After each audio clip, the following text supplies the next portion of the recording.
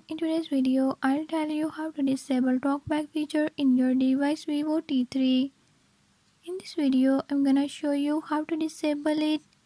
If you don't want to miss what's coming up, hit the subscribe button and ring the notification bell.